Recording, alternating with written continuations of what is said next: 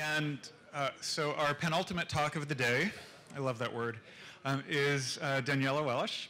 Uh, thank you. She has a fan club. um, I met Daniela when we were both working at Pivotal Labs, and she's now at SharesPost, right? Um, and uh, she studied math in college, and uh, she's going to talk to you today about um, the equivalence theorem between testing and math proofs. is, is, that a, is that random enough for you?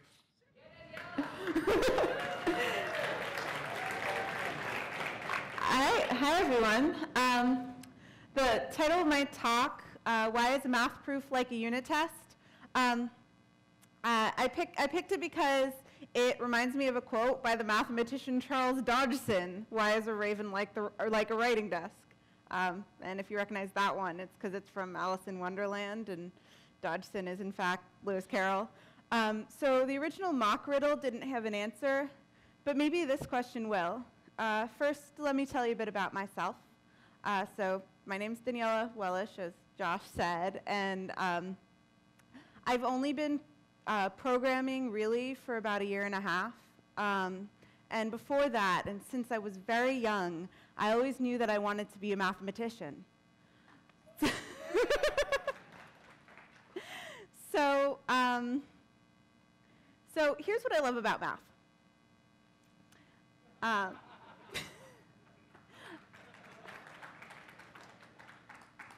I'm the girl on the right saying, oh, hey, I didn't see you guys all the way over there. Because mathematicians live in a world that's based on concept and that they build using a defined set of logical principles. Um, so they don't really need to think about the world of science or reality because um, they're off in their own little world. There's a joke about a mathematician, an engineer, and a physicist who all get stuck in burning motel rooms. One night, the, um, the engineer wakes up, sees that his hotel room's on fire, um, and notices that there's a bucket and a faucet, so he starts pouring buckets with, or filling buckets with water and pouring them on, the fire until the fire goes out. Then he goes back to sleep. The next night, the physicist wakes up, uh, sees that his motel room's on fire, calculates exactly how much water he needs to put on the fire for it to go out. He pours that much water on the fire, the fire goes out, he goes back to sleep. The third night, the mathematician wakes up, sees that his room's on fire, looks at the bucket, looks at the faucet, says, ah, a solution exists, and goes back to sleep. so this demonstrates that mathematicians live in the world of concept, and they don't have to care about the actual solution to a problem rather than the uh, context of a problem. Um, so this is what I love. I love this about math. So I was studying math and loving it until I realized that academia wasn't for me. And so I ran off with my BA and looked around to see what I could do that I enjoyed in quite the same way. That's when I went to a Railsbridge. Um, and I know that most of you probably heard about Railsbridge today or in the past, but it's a day and a half workshop that aims to get underrepresented, underrepresented groups into Rails. And um, I met mentors there who were Agile developers and convinced me to start using TDD immediately. So I started testing from pretty much the ground up. Um, and, uh, and then I quickly found myself an Agile job that I loved. So um, the fact that this transition happened so quickly made me wonder what it was about TDD uh, that made, that made me so happy and made me love things, love what I was doing the same way that I felt that when I was studying math. So one day I was coding with my pair, and we came across one of those nifty recursive problems that's even more fun in Ruby when you have all those loopy methods to draw from, namely turning this hash of hashes into this array of arrays. Um, and after we finished our implementation and finished our, uh, finished our story and started running Rake, we got to talking. Um, now, my pair hadn't studied any math formally. In fact, he majored in dance. So he was curious if when I studied math, I'd encountered much recursion. Of course I studied recursion. Math is filled with recursion. And recursion itself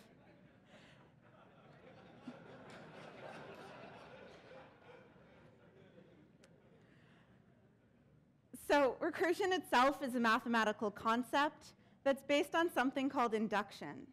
Um, side note, for the, property, uh, for the purposes of this talk, when I say induction, I mean mathematical induction, and when I say integer, I'm only going to talk about positive integers. Um, so yes, if you're laughing, you probably care about this distinction, and if you're not laughing, then you don't have to worry about it. Um, so let's talk about induction. Um, induction is a way of proving things about the integers um, where you first prove a, prove a property is true for 1, and then show that it, if it is true for some arbitrary integer n, then it's true for n plus 1. As you may have noticed from some of the liberties I've taken in my proof, induction is not actually possible in RSpec. But I'll get back to that. But I'll get back to that later um, after we talked about induction a bit more. So when you prove something is true for n plus 1 based on being true for n, basically, essentially you're saying that if it's true for 1, then it's true for 2. So if it's true for 2, it's true for 3. Therefore, recursively, it's true for every integer. Um, so uh, you, uh, there are some methods in my mock uh, proof or mock test that I haven't defined yet, so let's talk about them for a second. Um, how many of you remember studying or learning summation notation? All right. Lots of hands, but some people aren't raising theirs. So, sorry, I got mail. Fuck. uh, uh, what? Oh, I'm really sorry, guys. Uh, what are, um, I'm closing these tabs. Sorry. Sorry. anyway, let's make this big again, and now we're all happy. All right. so I've messed up once, so I'll be fine for the rest of the talk. Um, so uh, summation notation. Um, sometimes called sigma notation, is a mathematical loop where you add up whatever's to the right of the sigma, which is the zigzag Greek letter. Um, you start um, your, your where you start and the uh, variable you're using in your loop are on the bottom of the sigma, and at the top of the sigma you have your upper bound. Um, I put a Ruby implementation there. Uh, you might be saying, why are you using recursion instead of inject? But I mentioned recursion, so I'm using recursion. so what, what are we trying to prove? We're trying to prove that the sum of the first n numbers is n times n plus 1 over 2. This is one of the classic problems of um, number theory or, uh, or classic problems of number theory and is one of the first things that students solve when learning induction for the first time.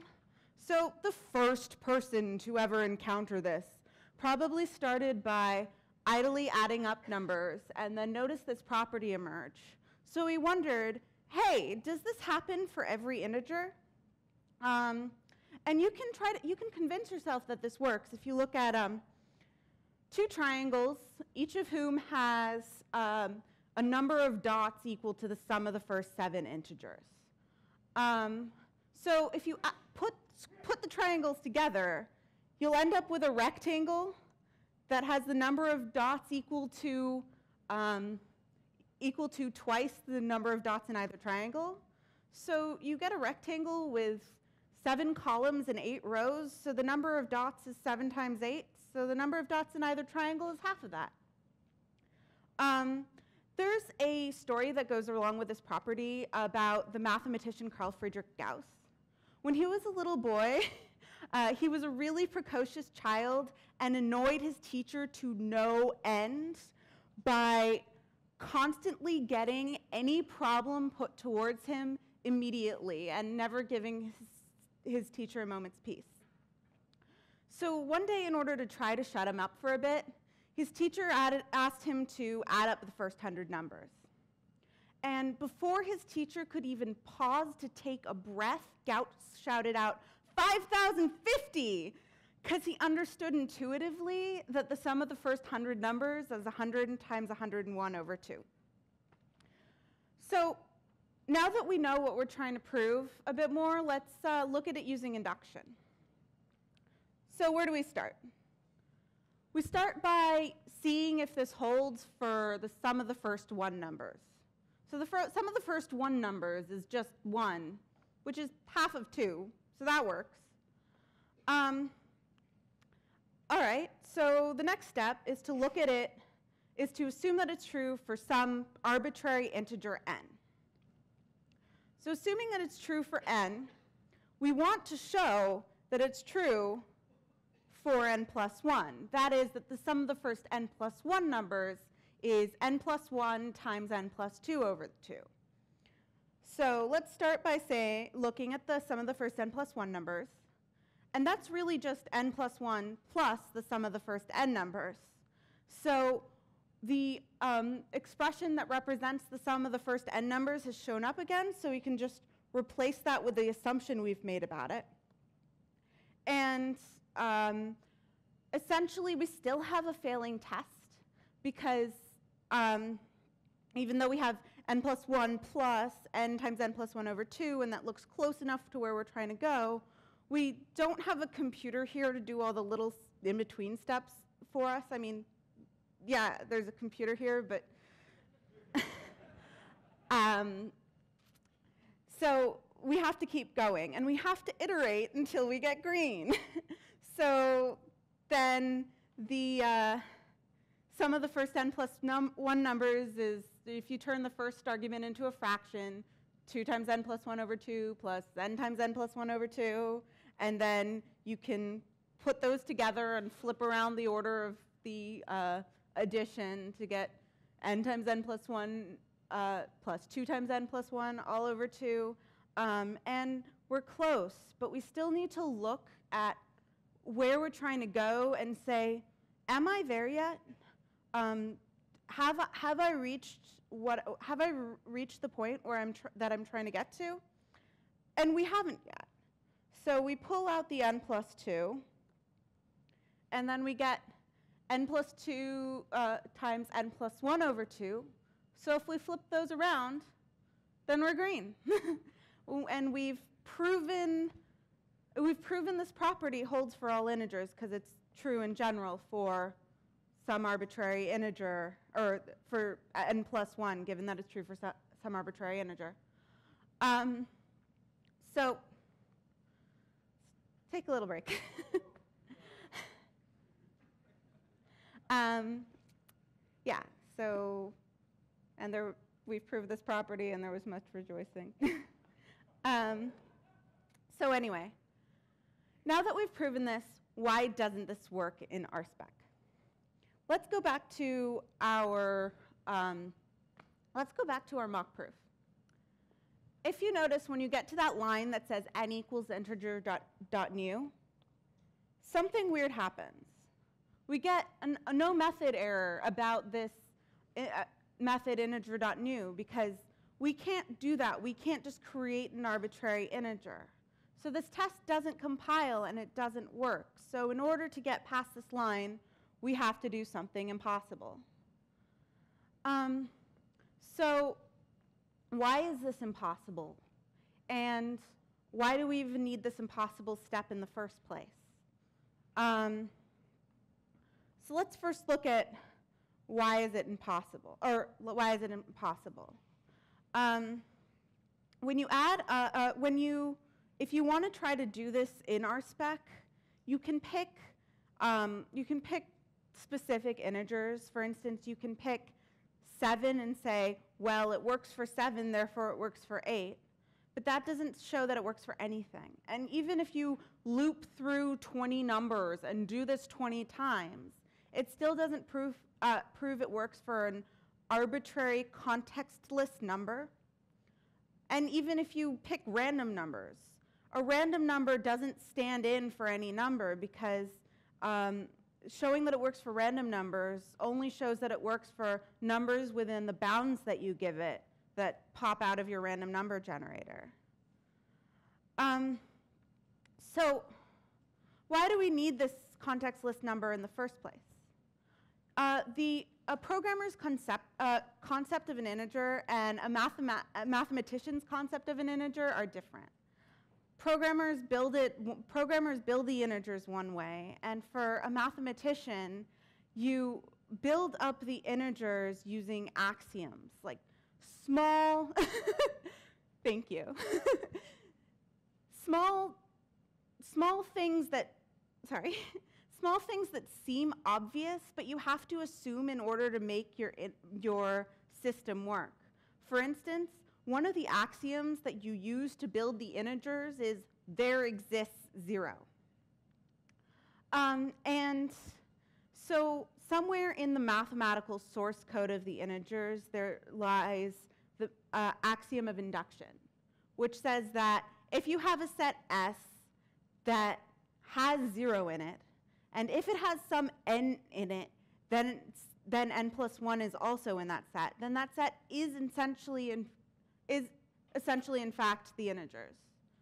Sorry, I didn't change it to say integer, uh, integers instead of natural numbers. But um, uh, so basically, mathematicians build the integers this way such that this works.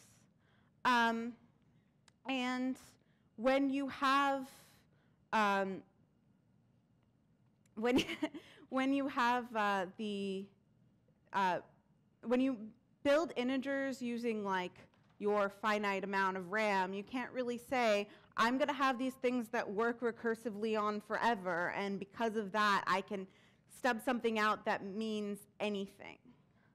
Um, so you may have, you may remember um, the phrase, everything in Ruby is an object. Um, and now, Alex, please don't tweet. so everything in Ruby is an object, which means everything in Ruby is an instance of something. For instance, 7 is a specific instance of integer, and it comes with all of this baggage for being, being an integer. Because in mathematics, we're really kind of looking for Platonic ideals, and an object is not a Platonic ideal.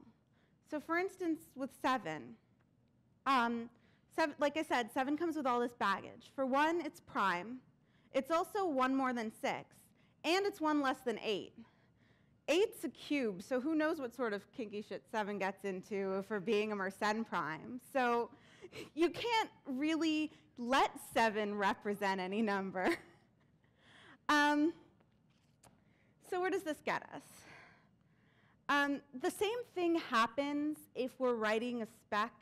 I know that you can say, oh, but we have some classes where we can just define initialize, so we can say class get dot new and get an instance of that class that stands in for anything.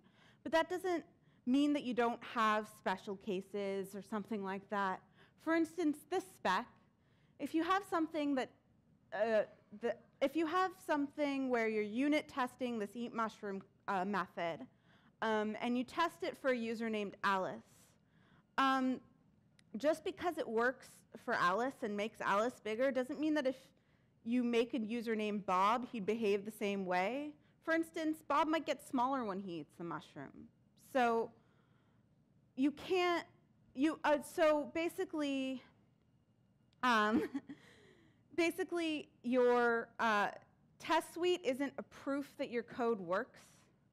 Um, and it's important to understand what, what function it, um, what function it really provides if it doesn't work. And so unit tests are heuristics rather than proofs. So uh, a heuristic is, when you, so when you use a heuristic, you use it to study the methods and rules of discovery and invention. Um, so there's a mathematician named George Polya, who wrote a book called How to Solve It, which is an attempt to revive heuristic in mod a modern and modest form. And um, so uh, he, um, sorry. So he talks a lot about things about heuristics that make sense when you think about what we do if we test drive a problem. For instance, something he says in his book is that it is foolish to answer a question you do not understand. It is sad to work for an end you don't desire. So this basically means that before you solve a problem, you have to understand it. And every time we do test-driven development, say for instance you do outside-in TDD and start with your integration test, you make sure you know what problem you're trying to solve because you write a test that'll fail if that doesn't work. Um, and another thing that he basically implies, but is a quote that's misattributed to him, um, is that if you can't solve a problem, then there's an easier problem you can't solve. Find it. Um, so this basically means that uh, you have to break problems down into smaller and smaller chunks until you arrive at the simplest problem and the easiest problem to solve. And we do this too. Um, this, this might look familiar, like when we get fa test failures, we use them to tell us what to do next and what we should do next. So um, heuristics play a valuable role in, in helping us figure, guide us through our problems. Um, and uh, Polya under, uh, stressed the fact that heur heuristics were not proofs and, could not and it was dangerous to look on them as proofs. But he, he still said that we need heuristic reasoning when we construct a strict proof, as we need scaffolding when, when we erect a building.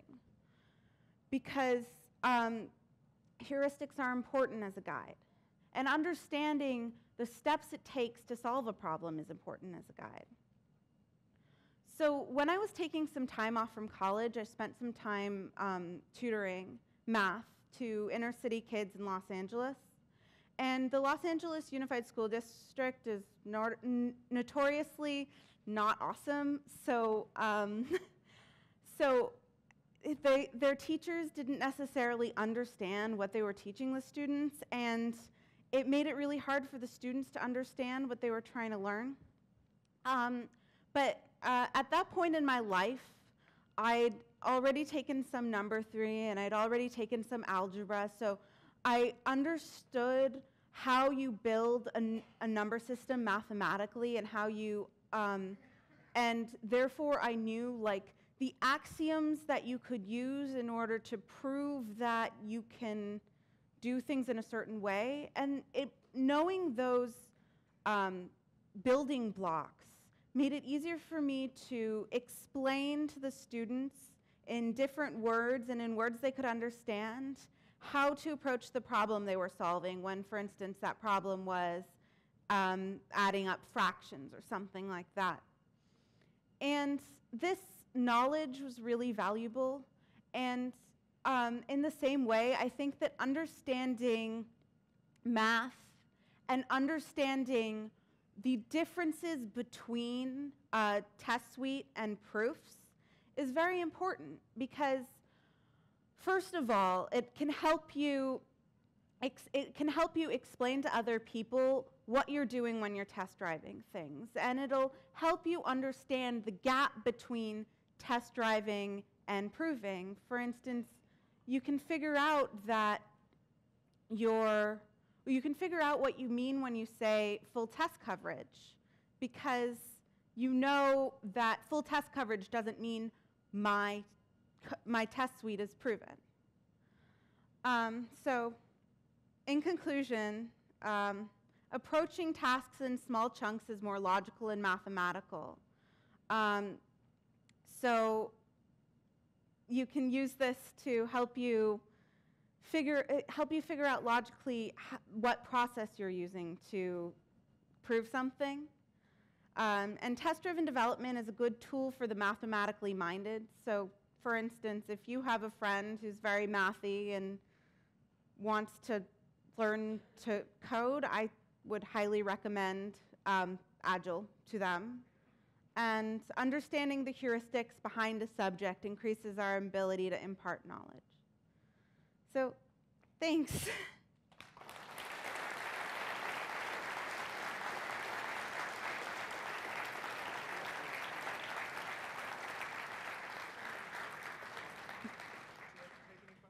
Um, sure. Does anyone have any questions?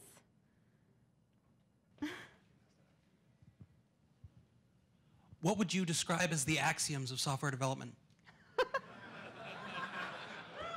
All right. Um, interesting. Sorry, that one threw me for a loop a bit there. I, I kind of feel like with software development, you have a computer at hand, and the computers build things using uh, essentially bytecode or whatever, and they're built within the con- confines of being of being a Turing machine. So I think that something you need to understand implicitly when approaching software development is really where your boundaries are and what those boundaries are. Um, I, I'm sure I could think of more. Sounds like a good conversation for the party tonight. yeah. Any other questions? Yeah. Okay, great. Thank you very much, good.